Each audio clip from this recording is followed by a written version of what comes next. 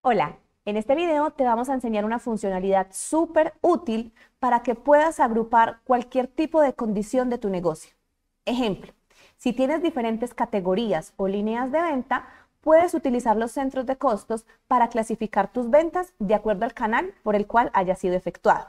Ejemplo, si eres una tienda virtual y tienes bajo tu misma administración varias tiendas de varias marcas, puedes crear centros de costos como tiendas virtuales tengas. Vamos a hacer un ejemplo. Vamos a ir al módulo Administración, a la transacción Centros de costos. Vas a darle clic en el botón azul y vas a seleccionar el nivel qué tipo de centro de costos es. Ejemplo, puedes crear un centro de costos principal si debajo de ese centro de costos vas a tener otras líneas de negocio.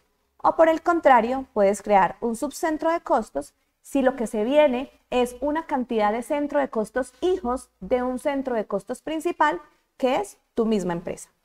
En el nombre podemos ingresar la cantidad de rubros que consideres necesario. En este caso, para tener claridad, puedes ingresar tiendas de mascotas o puedes ingresar ventas de tienda de mascotas o cualquier concepto que a ti y a tu equipo le permita fácilmente identificar a qué corresponde esa venta. En este caso, vamos a dejar tienda de mascotas, vamos a decir que se deriva del centro de costos principal y que está asociado a la cuenta de Sara Montoya. Vamos a activar el check de permite ingresos para que puedas mover dinero y transacciones en ese centro de costos.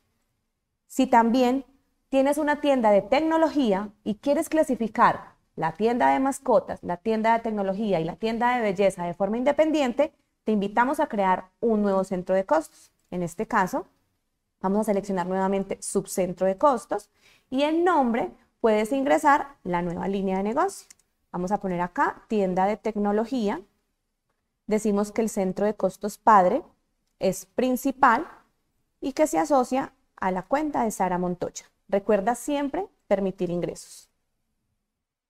Si tienes otro negocio alterno del cual quieras también tener el control, pero de forma más independiente, puedes crear otro centro de costos padre. Ejemplo, tienes una línea de negocio de marketplace o de mayoristas distribuidores. Puedes crear otro centro de costos, en este caso lo puedes crear como un centro de costos principal que se llame distribuidores correrías asocias la cuenta e-commerce y le dices que permita ingresos. Y resulta que estos distribuidores tienes uno ubicado en cada una de las zonas del país. Vamos a asociarle un subcentro de costos a cada uno de estos distribuidores. Ejemplo, vamos a decirle que el subcentro de costos se llama eje cafetero, que se deriva del centro de costos padre distribuidores correrías, le asociamos la cuenta e-commerce y le damos clic en Permite ingresos. Puedes ver que el sistema lo que hace es que te va clasificando tu negocio de acuerdo a la necesidad que tú tengas. Si también tienes un distribuidor en la zona de Bogotá, vamos a crear un subcentro de costos, vamos a poner Bogotá vendedor correría. En centro de costos padre estamos hablando de distribuidores correría, asocias la cuenta e-commerce y le das permite ingresos. Mira que visualmente vas a tener la posibilidad de clasificar todas las ventas de tu negocio, de tu empresa, em, de tus distribuidores de una forma más fácil. ¿Para qué nos sirve esto?